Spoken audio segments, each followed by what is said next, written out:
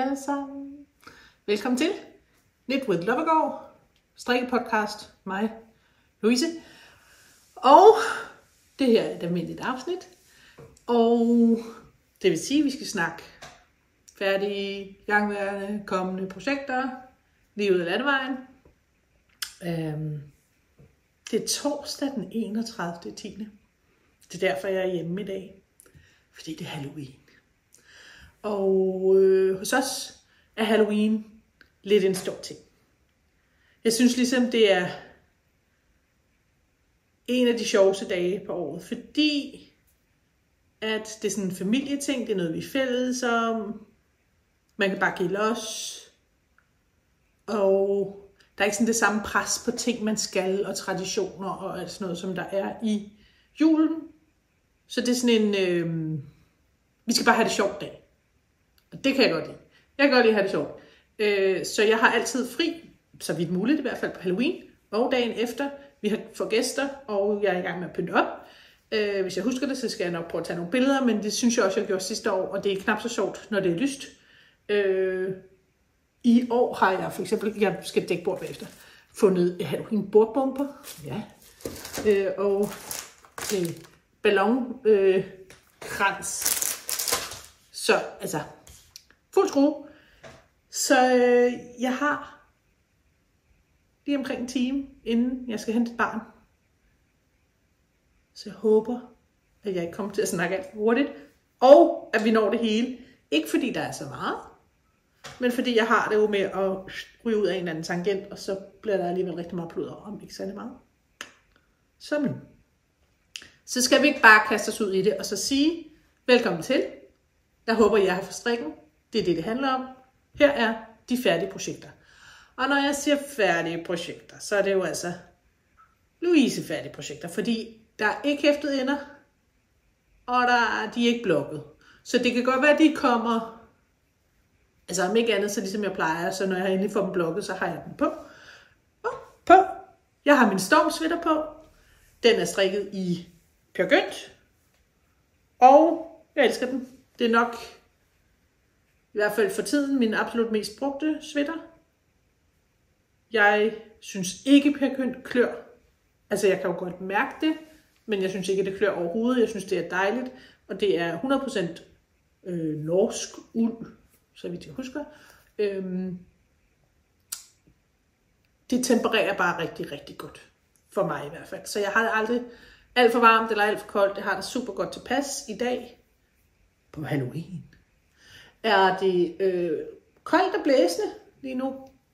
Så øh, vi har ikke rigtig tændt for varmen nogen steder endnu. Så har jeg faktisk lidt køligt. Varm trøje. Good to go. Så fik I det med os. Som sagt, I får nok set de her projekter igen, når jeg engang har fået blokket dem. Lige nu betegner vi dem som Louise færdige, og derfor er de som færdige projekter. Der er ta, ta, ta, ta, min hund sweater fra Igunet med nogle dejlige lange ærmer og knap så lang krop. Og jeg kan ikke huske, om jeg snakkede om det sidst, men jeg havde lavet en lille fejl. Og så lavede jeg en fejl mere. Og det er fjollet øh, at gøre sådan noget. Men øh, man kan også se, at jeg har målt, altså jeg faktisk, jeg har haft pillet, jeg synes, den var blevet alt for kort. Den var blevet alt for kort.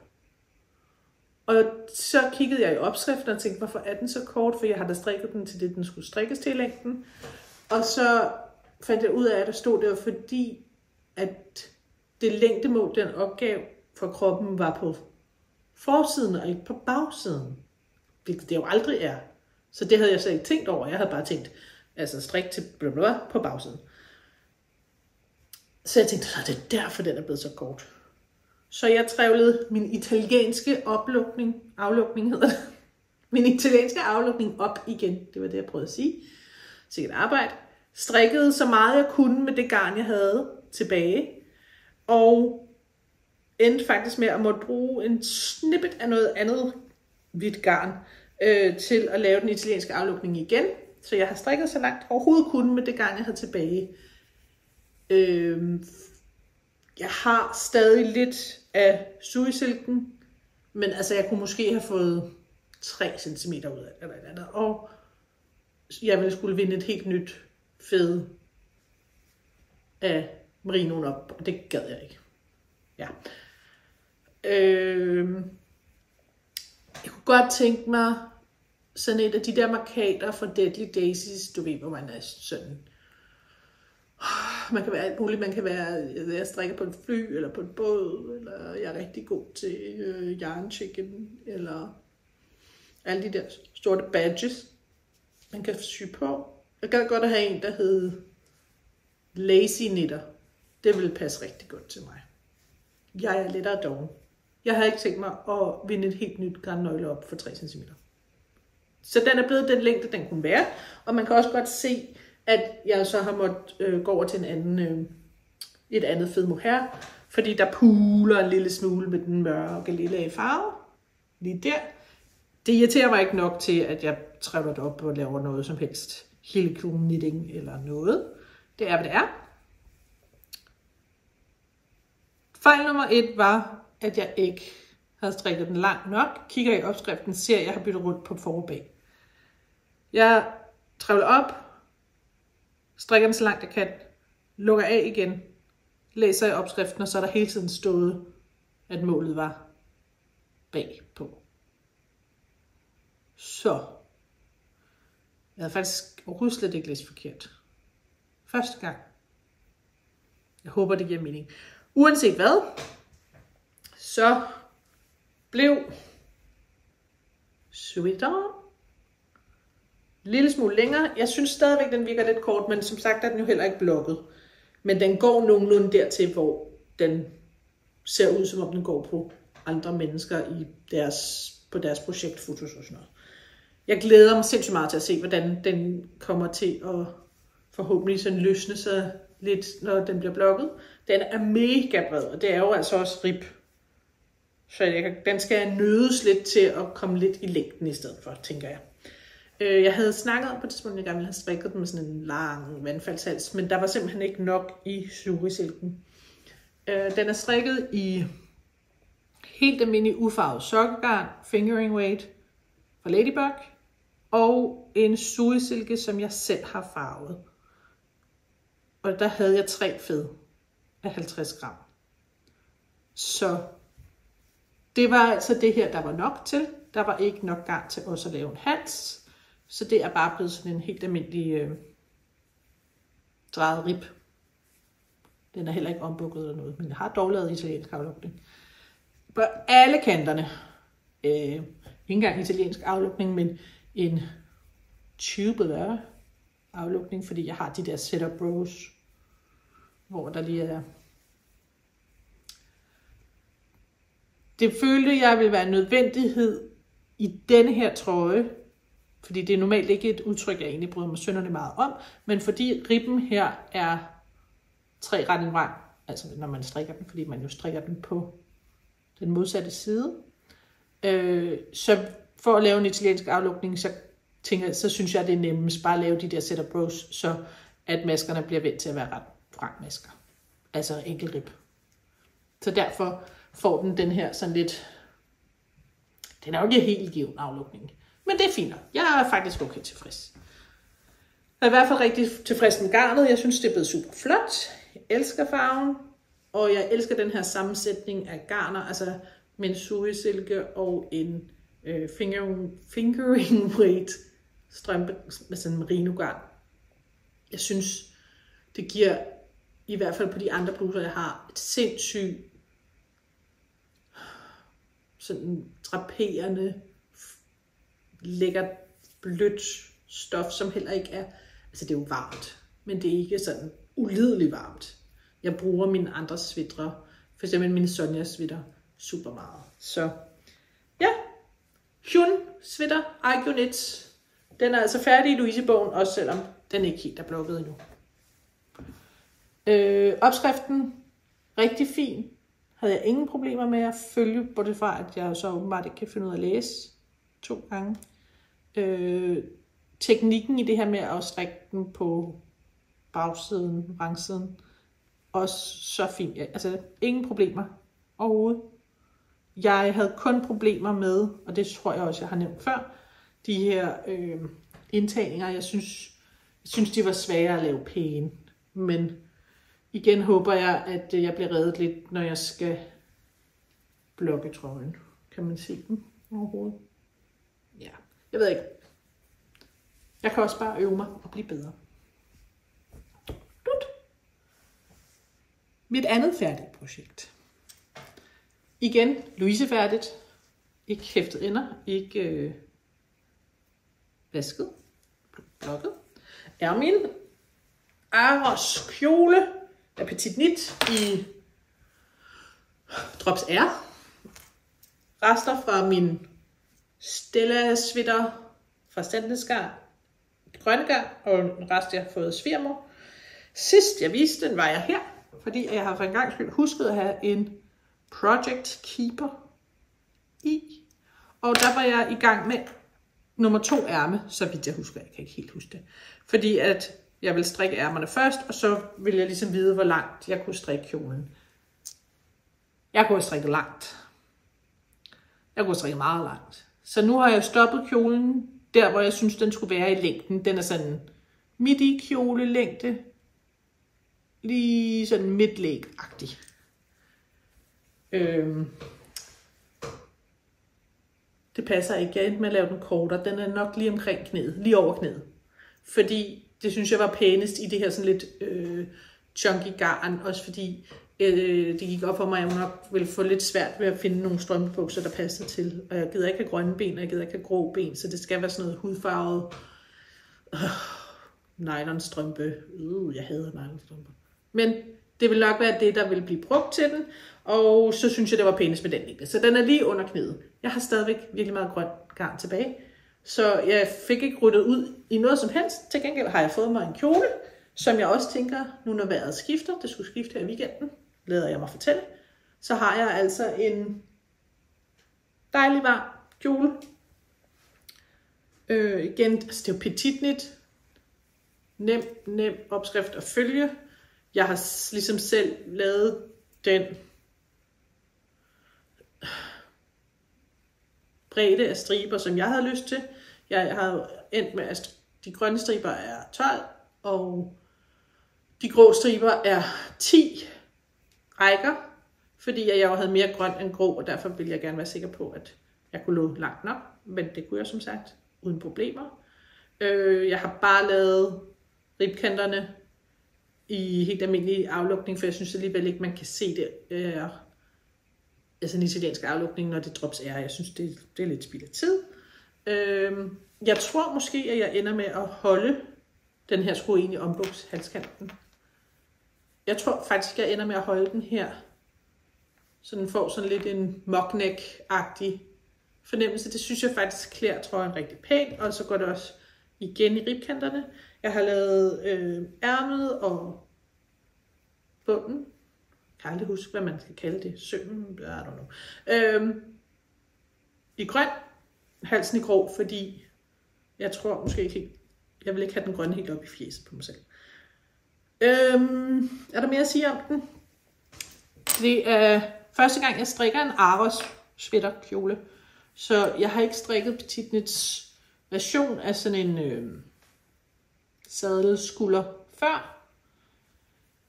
Det gik ret nemt. Jeg synes faktisk, at den øh, sidder rigtig pænt. Så får den jo det der look af sådan et indsat ærme, fordi den får den her linje hele vejen ned synes faktisk, det sidder rigtig, rigtig pænt på. Så jeg kunne godt finde på at strikke en Aros hvis jeg nu savnede noget glatdrik eller et eller andet. Kunne jeg snilt finde på at strikke den her opskrift igen. Jeg har jo tweaked den lidt, fordi det er noget andet garn, og det er en anden garntykkelse osv. osv. Men det gik. Jeg har strikket en størrelse small, tror jeg nok, så vidt jeg husker for at imødekomme, at det jo er noget tykkere garn, og så har jeg strikket det på en pin 4,5 eller 5, det kan jeg huske. Jeg tror, det var 4,5. Og den passer. Det er jo det vigtigste. Det eneste, jeg kan være nervøs for, er øh, om den bliver sådan helt vildt statisk, når jeg har den på. Jeg har en helt lang kjole i Drops Flora og Mohair. Og den er sindssygt statisk. Øhm, så der har jeg måttet bruge sådan noget spray. Så det kan godt være, at den her også lige får en gang med den der statisk spray. Så den er til at bruge. Jeg kan stadig ikke helt finde ud af, om jeg er lidt for Finn Holger i den, men den, øh, den er da sjov. Øh, kunne også være, at jeg skulle tage mig sammen lige at få øh, hæftet enderne, og så kunne jeg have den på her til Halloween i dag. Altså, jeg har også sådan en skeletdragt, men øh, det kunne da godt være. Den er da sådan lidt sjov i hvert fald. Aros, kjole, petit knit, done. Louise Done. Nu gynger jeg. Mm. Nå. Så er vi nået til de igangværende projekter. Og der er nogle stykker. Men til at starte med. Ny taske fra øh, Fantastisk Krammer.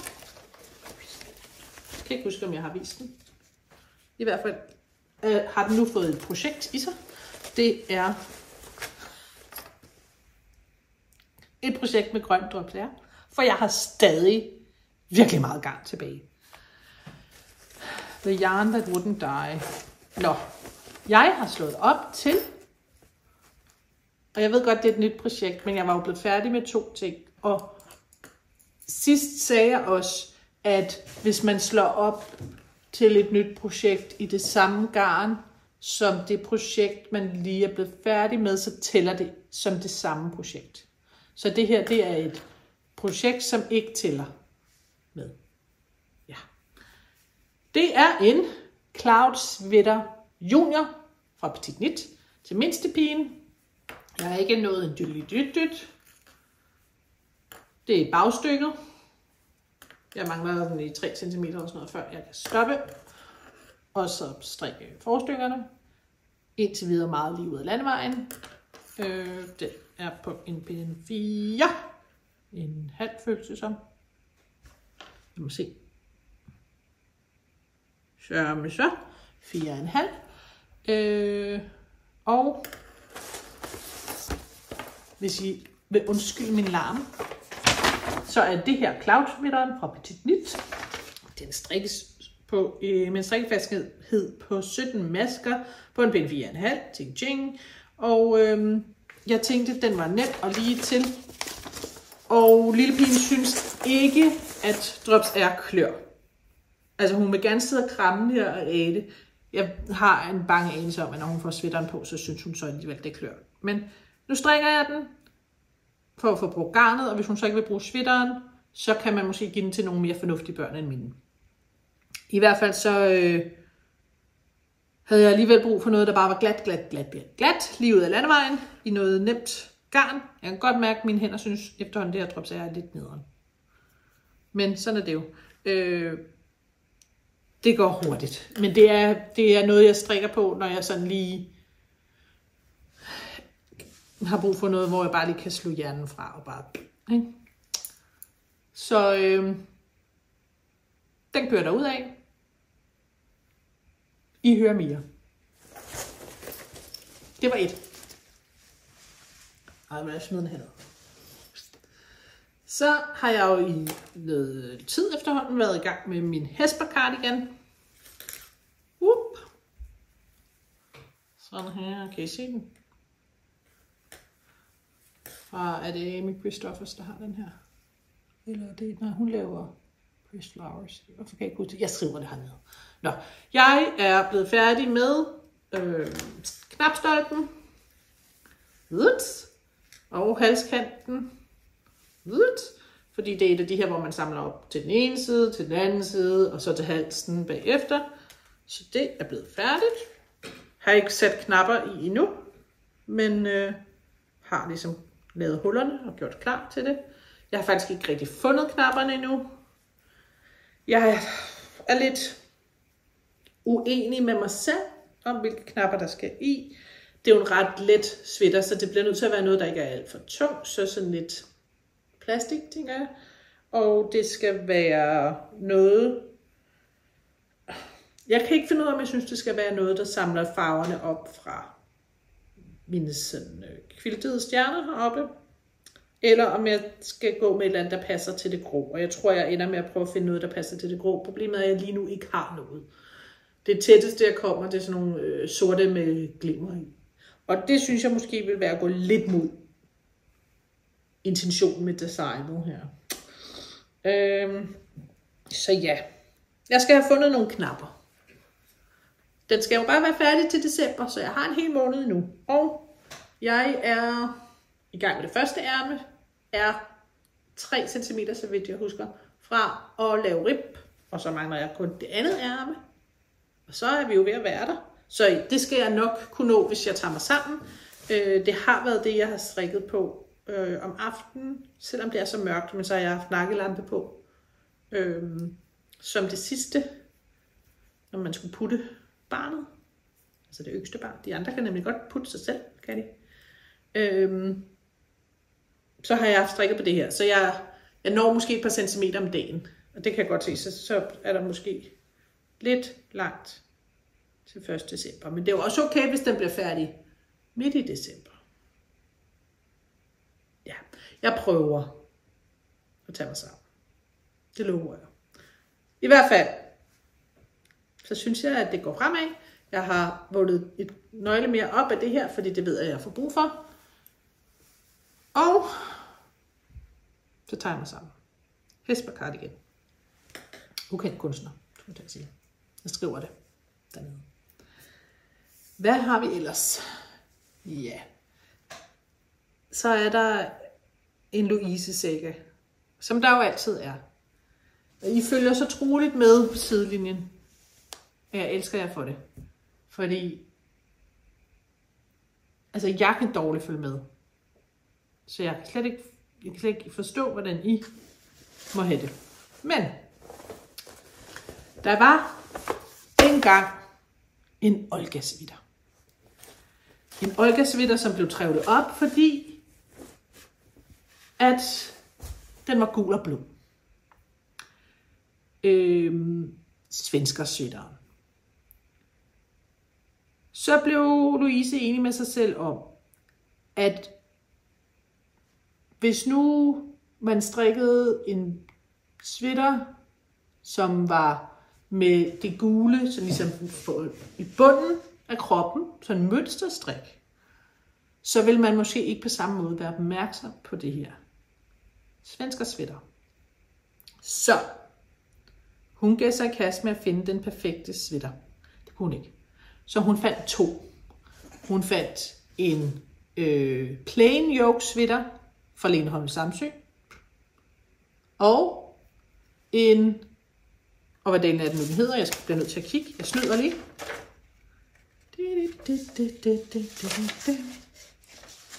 Jeju, Jeju, jeg ved det ikke, sweater af Argunits med det her flotte, øh, hvad hedder sådan noget på dansk? Det her flotte mønster. Hun gik i gang. Hende der Louise. Og strikkede og strikkede og strikkede, og det går hurtigt, fordi det er på en pind 6 i det her garn, som er Drops Nepal.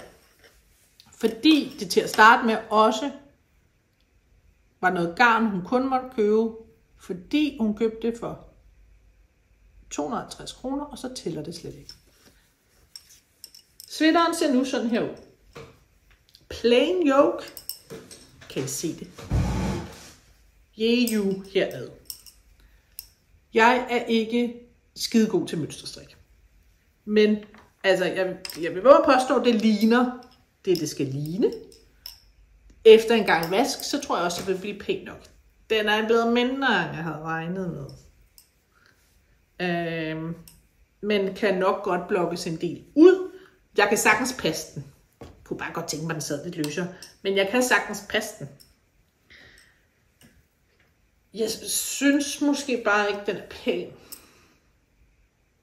Jeg synes faktisk ikke, den er pæn. Øhm, måske er det bare garn. Jeg ved det ikke. Jeg elsker det ikke. Jeg har lukket af i kroppen. Altså, jeg er helt færdig med mønster og strikken. Det var sjovt. Øh, og jeg har lukket af. Lene Holm Samsø har ikke lyst til at fortælle mig, hvordan jeg skal lukke af, så jeg har bare gjort noget. Øhm, og jeg synes ikke, den er pæn. Og så er det her, hvor at jeg skal være sådan en haftig og så sige, kommer du nogensinde til at gå med den? Nej. Hvorfor vil du så bruge tid på at strikke to ærmer? Det er jo fuldstændig åndssvagt. Så det skal jeg selvfølgelig ikke. Den bliver trævlet op. Men det hedder sig jo, at hvis man så slår op til noget nyt i det samme garn lige med det samme, så tæller det ikke. Så hvad kunne jeg have brug for, hvis jeg nu så bare holdt det kun i den blå, så jeg slet ikke blandede de to farver sammen, så kunne det godt være, at jeg vil have mere held. Jeg kan godt lide den her blå farve. Jeg synes, den er fantastisk. Men hvad har jeg garn nok til i kun den blå farve? En slipover. Det skal være en slipover. Det er det, det skal være. Så øh, jeg kiggede på slipovers, og så kom jeg til, og hvad er det nu, den hedder? Har jeg den her i? Det har jeg selvfølgelig ikke. Det er en petit knit. Surprise, surprise. Det er den der, hvor at der er øh, samlet med knapper i siden. Og jeg skriver det. Jeg kan ikke huske det. Den, jeg egentlig gerne vil strikke, var den Amy slipover, som Sandnes har lavet på et tidspunkt, men jeg gad ikke købe hæftet. Og så tænkte jeg, ved du hvad, egentlig, som minder Petit Nits, den her, jeg vil have, den skal hedde Lulu. Det tror jeg ikke, den hedder. Nå, øhm, minder faktisk lidt om den. Den er, øh, har rullekrav, og den har de her øh, øh, dobbeltstrikkede bånd her, og så øh, er den knappet sammen, hvor at Amy slipoveren har bindebånd. Og så tænker jeg, jeg kan jo for så vidt bare fortsætte mit dobbeltstrik, og så kan jeg lave bindebånd, hvis det er det, jeg har lyst til. Ha! Snydt! Så jeg købte opskriften til slipoveren, og jeg gik i gang. Og sammen med garnet er der nu en ret silke i blå, som jeg tænkte, de her to, de passer sgu da sammen. Det er jo, de er jo begge to blå. Men lige pludselig, når man strikker det sammen, så bliver jeg altså nødt til at sige, at så er det som om, at sugesilken er nærmest sådan sort i det. Altså den er meget mørk. Øh, og jeg er faktisk ikke helt vild med den sammensætning. Jeg synes, det ser... Det ser ud som om, at den har mistet sit hår nogle steder. Ja. Jeg ved ikke, hvordan jeg skal forklare det. Jeg kan, jeg kan ikke lide det. I don't like. Det blev et nej herfra. Øh, jeg havde heldigvis kun nået at strikke så langt. Altså ifølge, i forhold til, hvad jeg havde, at det nu er min tredje sweater, jeg er i gang med på det her garn. Så det her er jo ikke særlig langt. Det bliver trævlet op. Og nu giver jeg altså lidt for tabt. Det bliver jeg nødt til at sige. Tredje gang var ikke lykkens gang for mig. Og jeg tror, mig og garnet har brug for en pause.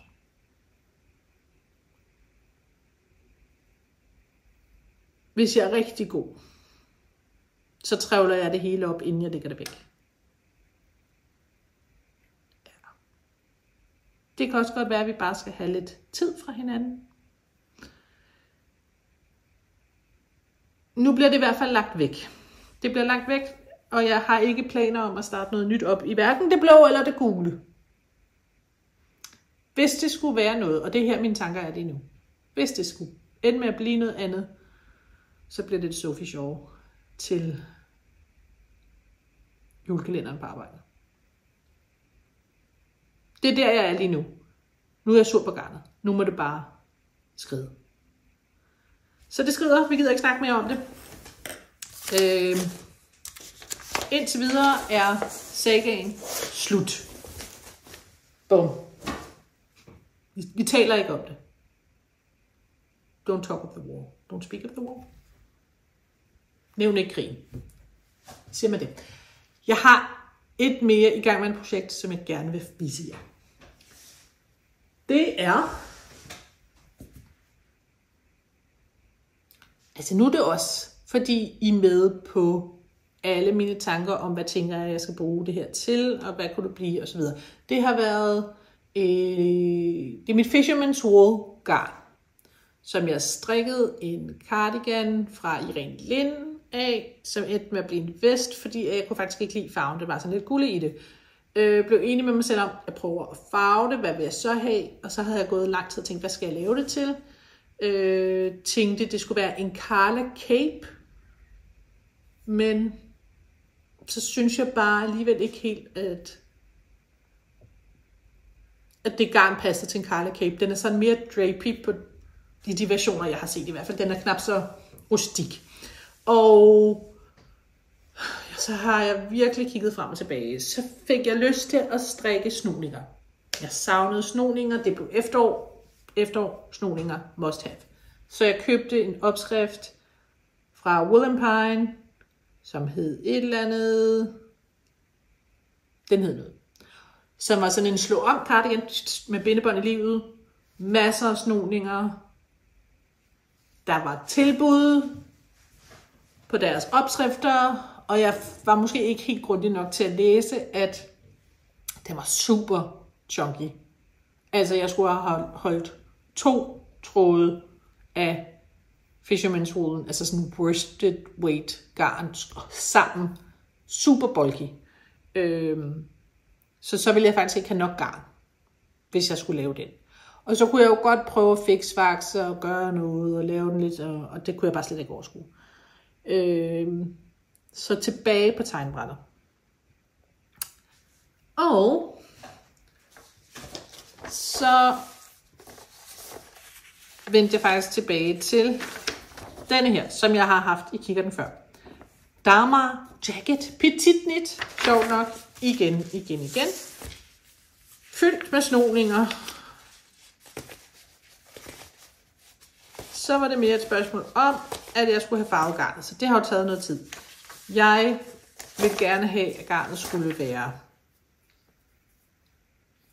Jeg havde købt noget pistache farvet farve, fordi at jeg ville have, at det skulle være en Carla Cape, der tænkte jeg, at den mørkebrune rest i Fisherman's Wool, jeg har tilbage, ville se rigtig godt ud sammen med sådan en helt blegfesen grøn. Øhm, så gik jeg jo en anden vej, men så tænkte jeg stadigvæk, jeg faktisk, jeg tror måske stadigvæk, det skal være den blegfisende grønne, fordi jeg prøvede sådan op i mit hoved at tænke, gulligt garn, hvordan, altså modspillet til det, for det ikke bare kommer til at se tisfar ud. Øh, hvad skal det være? Så tænkte jeg, at det kunne godt være, at der skulle noget grønt ind over. Grøn eller blå i hvert fald. Og så blev det grønblåt. Altså det, jeg synes faktisk, det er fint. Altså, det er ikke fordi, det er meget, meget fjernt. Nu prøver vi lige. Øh, vi er der igen, venner. Øh, så jeg synes faktisk, det er blevet rigtig fint. Jeg glæder mig til at se, hvordan delen jeg kommer til at se ud, når jeg har den på. Jeg er ikke sikker på, at det er sådan, jeg klæder mig. Det er så, hvad det er. Øh, og så var det faktisk ret svært at øh, farve det jævnt. Der var meget garn, og det, jeg måtte jo selv vinde fra de der pølser, man får dem i, til nogle øh, fede, så jeg kunne farve det, og jeg kunne ikke farve dem alle sammen på én gang. Og sådan noget.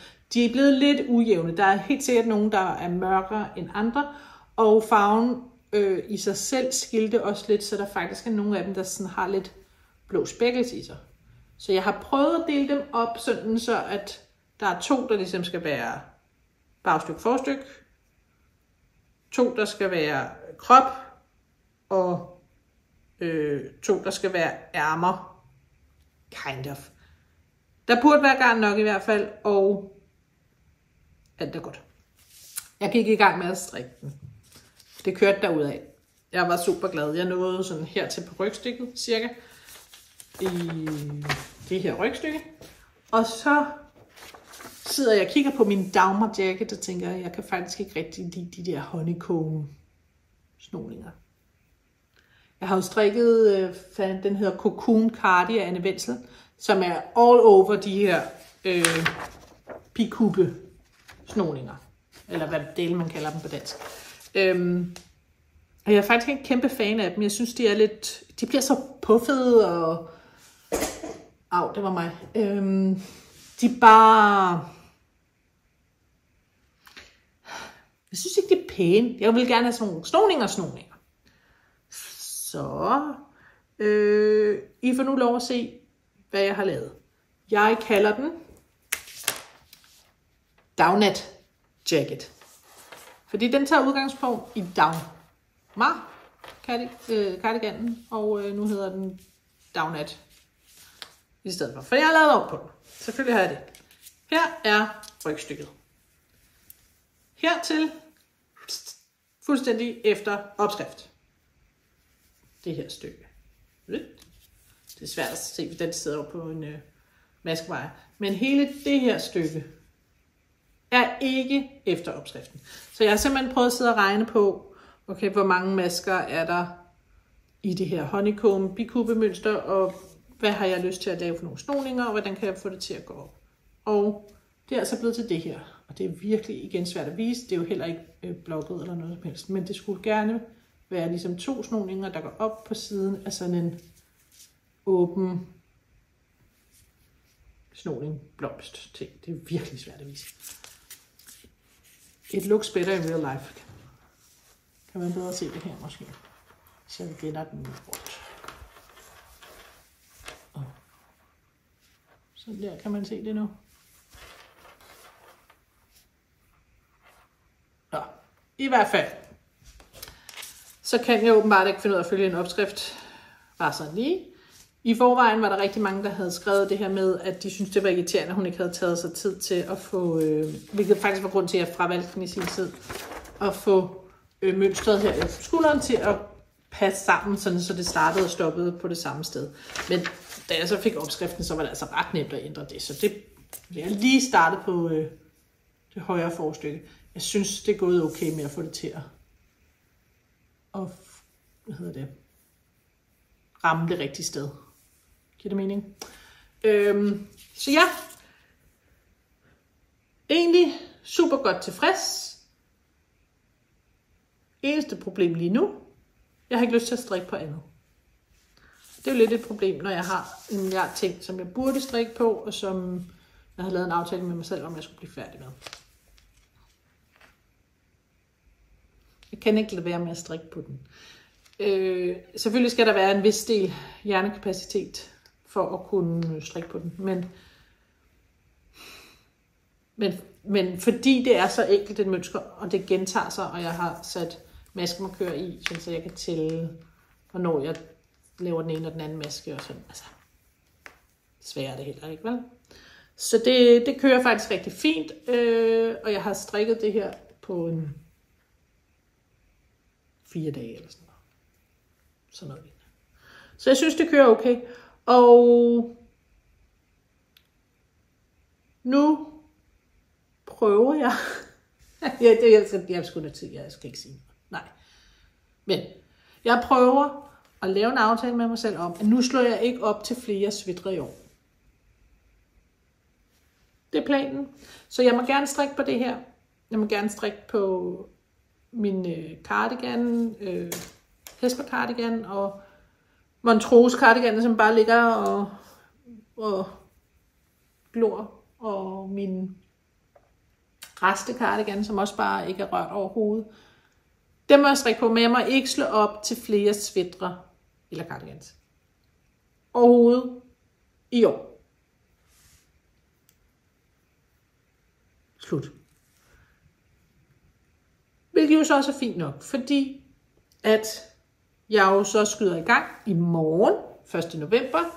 Jeg ved ikke, hvornår jeg får redigeret det her, for det bliver jo i hvert fald ikke i dag. Men fra 1. november går vi i gang med at strikke alle de små ting kaldt 24. Alt det tilbehør, du kan komme i nærheden af. Jeg viste i mit minishow sidste gang, øh, at jeg strikker alt fra øh, golf, køle, covers til Halloween sokker. Og øhm, whips er velkomne. Alt, som er småt, er godt. Så du må strikke lige, hvad du vil. Det skal bare være færdigt og lagt på Instagram med hashtagget alle de små ting kald 24 inden 11. januar, så vidt jeg husker. Så du har to og en halv måned nærmest til at strikke hvad som helst småt, du har lyst til. Og jeg håber, at I vil være med. Øhm, jeg snakkede lidt om præmier, og det er ikke 100% på plads, men Strik med Nille har været ude og sige, hun vil i hvert fald gerne give nogle opskrifter til præmie. Så øh, der kommer mere om, hvordan præmierne bliver fordelt. Jeg tænker, det kunne godt være, at jeg trækker en midtvejs, og så en senere, når kalden slutter. Det har jeg ikke afgjort med mig selv endnu. Øhm, men der kommer i hvert fald nogle præmier. Det er helt sikkert. Og jeg tænker, at jeg laver en opsamling, fordi jeg gider ikke vise tilbehørstingene frem i dag, som, øh, som kommer her på et tidspunkt i løbet af de måneder, øh, samstringen løber, at der kommer jeg med en, en lille opdatering på, hvordan det går med mine tilbehørsting. I hvert fald, så øh,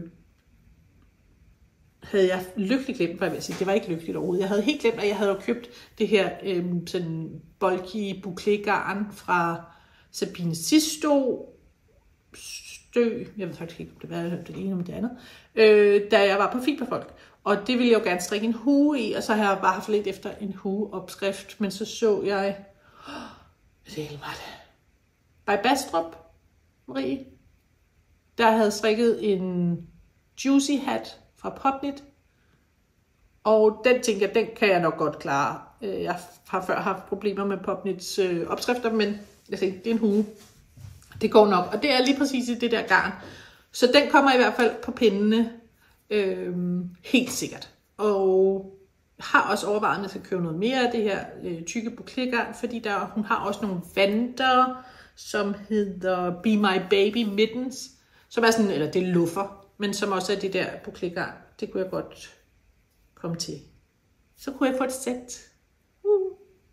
I hvert fald, så synes jeg, det var ret fint. Øh, øh, det bliver nok det, jeg slår op til først, og så vil jeg jo rigtig gerne strikke noget fra min, øh, min doodle-bog. Og det bliver nok ja, enten fingerløse vanter, eller også pandebånd. Jeg har ikke helt besluttet mig nu, men det har jeg heller ikke fundet gang frem til nu. Så det er ligesom det, jeg må sådan... Jeg prøver at holde mig til, at det er det, jeg må slå op til, indtil at kalden er færdig, og så ellers få ryddet pindene. Jeg plejer gerne at få ryddet pindene i januar øh, under alle omstændigheder, fordi at, at det er sådan lidt rart at starte året, slutte året på med tomme pinde. Så det er ambitionen. Lad os krydse fingre alle sammen. Ja, så er vi ved at være der. Der er ikke andre kommende projekter, fordi det kommer til at handle om kalden, om stramstrikken, om alle de små ting, om jul og hygge og, og bare være sammen. Så det er det, der kommer til at handle om de næste par måneder. Der er dog en lille smule enkelt. Nå, de ting, jeg har købt, øh, er faktisk lidt affødt af min Downat jacket. Øhm, fordi jeg strikker den på chargulpinde. Øhm, det synes jeg glider bedst når jeg laver snoninger, fordi at jeg nogle gange kommer til at stramme ret meget, eller altså nogle af snoningerne er over øh, 8 masker, og så altså, der hjælper den her lidt med i forhold til, at det glider lidt nemmere. Øh, til gengæld så, altså jeg skubber pinden tilbage med fingeren, og det får jeg altså ret ondt i mine fingre af. Så jeg har købt sådan nogle her prøv fingerbøl, og så vil jeg lige prøve at se, om det vil hjælpe mig med at ikke få så ondt i fingeren. Så det vender jeg tilbage om, jeg synes, det har været en succes eller ej. Jeg ved godt, det ikke er det, det er meningen, man skal bruge den til, men mm, jeg giver det et skud. Så har jeg købt nogle nye øh, Nitpro blokke, Nitblockers, altså sådan blokke øh, nåle, jeg ved ikke, hvad vi skal kalde dem, som er sådan nogle, sådan nogle her, til at blokke sweater. Og grunden til, at jeg nu så mig for nødt til at gøre det, Det er simpelthen for at være sikker på, når jeg blokker den, så jeg tænker, jeg bliver nødt til at have dem stående, sådan så at øh, midterpanelet her bliver strukket ordentligt ud, så man kommer til at kunne se de her øh, vrangmasker. Øh, og der vil min enkelte nål simpelthen ikke være nok til at kunne gøre det. Så det er for at være sikker på, forhåbentlig, det kan jeg ikke vide endnu, at øh, mine snoninger kommer til at se pæne ud, når jeg skal blokke min downat cardigan jacket. Det sidste, som jeg har købt, har jeg jo faktisk købt for lang tid siden, jeg har nævnt det, men den er kommet. Og det er min bucket fra Deadly Daisies. Prøv lige at overveje, hvor stor den er. Er den ikke fantastisk? Altså, jeg vidste jo godt, at jeg købt den i stor, men nogle gange så er det svært med sådan nogle mål helt at finde ud af. Der står godt nok Team Sjæl og et billede af et flot sjal. Jeg tænkte, at jeg måtte finde noget malertape og så klistre sjal over, og så skrive tilbehør i stedet for. Eller små ting. Så jeg er team små ting. Og så er alle mine små sager kommet hernede i. Øhm, og det var lidt det, der var intentionen med den under alle omstændigheder, at den skulle være et sted, hvor at alle mine små projekter kunne ligge i. Fordi det tit er sådan noget, så strikker jeg lidt på det, så strikker jeg lidt på det, så strikker jeg lidt på det. Jeg når ikke nogen vej med noget af det. Men sådan så det var samlet. Øhm, også fordi, at det jo gør det nemmere, når jeg sådan går fra et sted til et andet. Altså når jeg sidder og strikker op i sengen, eller nede i sofaen, eller hvor, hvor jeg nu gør. I biografen, et eller andet. Så det er nemmere, at det er samlet det hele. Så jeg er vildt glad for den. Der er ikke noget reklame, jeg har skam selv betalt. Men jeg var virkelig begejstret. Så nu er alle mine små sager samlet, og jeg er klar til de ting, som jeg må slå op til, når jeg tænker, at jeg kan overskue det. Øh, så glæder jeg mig bare sindssygt meget til at strikke sammen med jer alle sammen. Og til at vi forhåbentlig ses igen snart. Kan I have det rigtig godt. Hej hej.